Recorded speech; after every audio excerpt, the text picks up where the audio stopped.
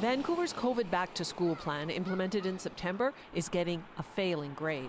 My child has gone from an outgoing, joyous, happy 13 year old to a sullen, depressed, anxious, socially isolated, vulnerable teen. Parents of high school students across the district are upset. For my daughter, she's in eighth grade.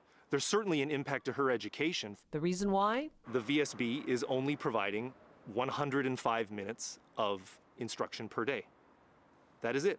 That's one third of the teaching hours required by BC School Act. They claim to provide remote instruction, but they do not require teachers to provide any actual instruction during the remote block.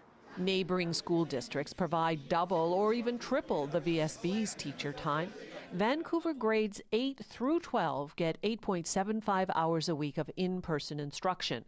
In Burnaby, North Vancouver, and Surrey, grades 8 and 9 are in class full time. And the senior grades get a mix of in person and remote instruction for approximately 18 hours in Burnaby and North Van and 22 hours in Surrey. The problem is going to be whenever these kids get compared to other children who have had the privilege of being in school full time. In all of the surrounding districts around Vancouver, how will these kids be prepared for universities? BC's education minister shares the parents' concerns and has met with the VSB. Jennifer Whiteside says she expects Vancouver to adhere to laws and come up with a way to deliver appropriate instruction.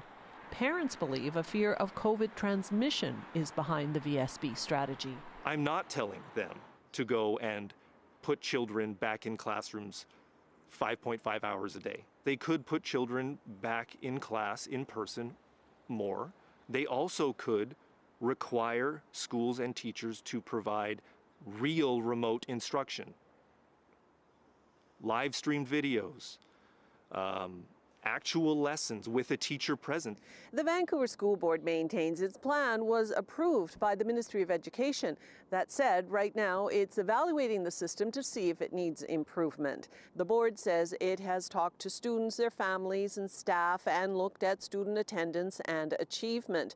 The outcome of the assessment will determine what happens next. Parents aren't happy to wait.